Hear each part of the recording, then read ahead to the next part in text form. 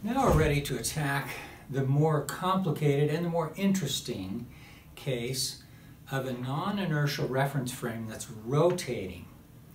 So anytime you have an object that's, that's rotating relative to the fixed stars, uh, that object is going to have an acceleration as it goes in a, take for example uniform circular motion. Uh, as a ball goes around in a circle, it has an acceleration that points toward the center of the circle. So the, uh, the essential element that we're going to need is, is how to consider time derivatives.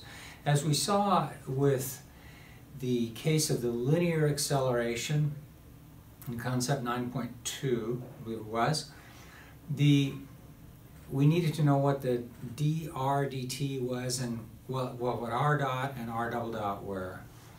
Similarly here, we're going to need to know what time derivatives are.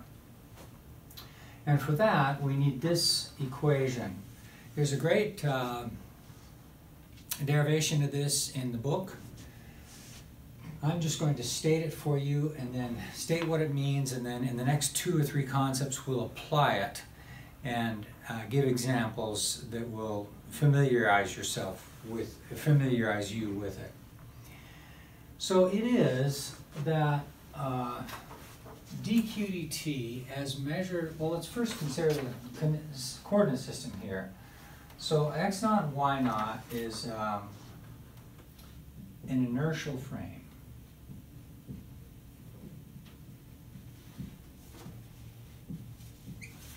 S naught.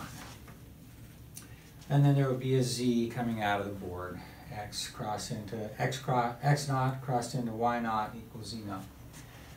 Then um, this is going to be a frame xyz that's non-inertial.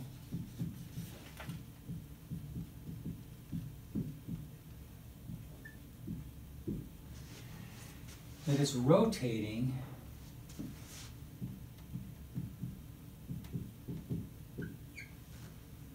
with angular velocity omega. So this angular velocity is a vector and its direction is given by putting the heel of your hand at the center of the, the, the center of rotation and then curling your fingers in the direction of rotation. And then your thumb gives the direction of the angular velocity. So the direction of omega.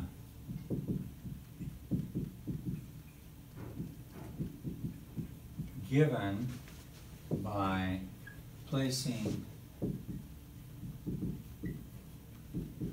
the heel in this part here of the right hand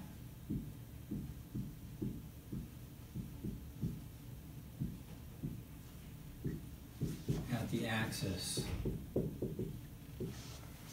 Then the fingers of the uh, and curling the fingers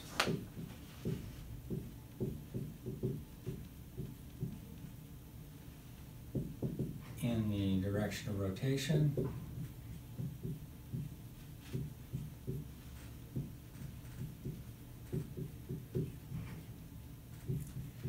And then the direction of omega is given by the outstretched thumb.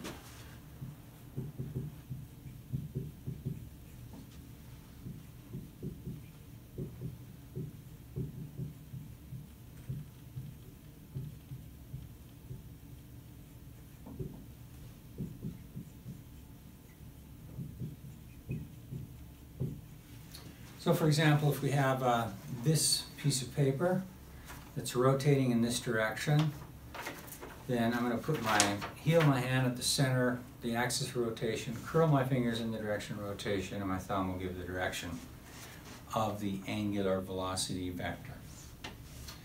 All right, that uh, takes care of that part. Q is a, just a general arbitrary vector and dq by dt at s naught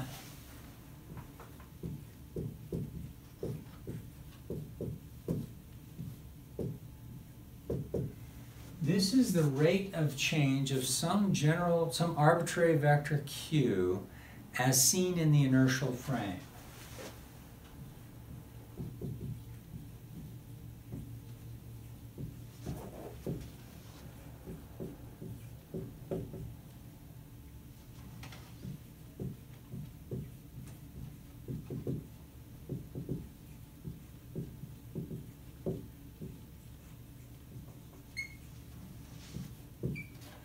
And dq dt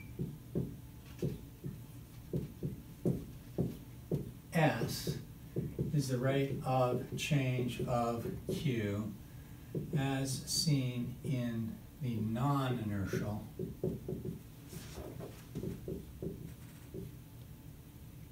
frame S.